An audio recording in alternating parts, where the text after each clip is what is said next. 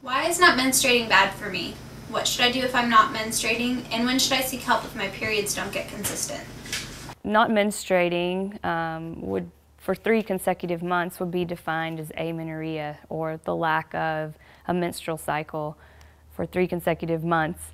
Um, this can have detrimental effects on bone health, especially at a time period where um, peak bone mass is being achieved um, during your teenage years. Um, so it can, can have an adverse effect on your bone health. Um, also can have an adverse effect on your reproductive functioning later on. Let's say you've already started your menstrual cycle and then all of a sudden it stops and you notice this in season when you're in heavy training. Um, I would definitely say you probably should see a physician. Um, in terms of the reason why menstruation stops, it has to do with a decreased energy availability.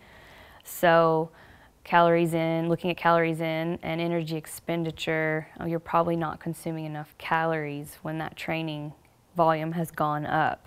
And that's going to lead to um, amenorrhea or the cessation of a menstrual cycle.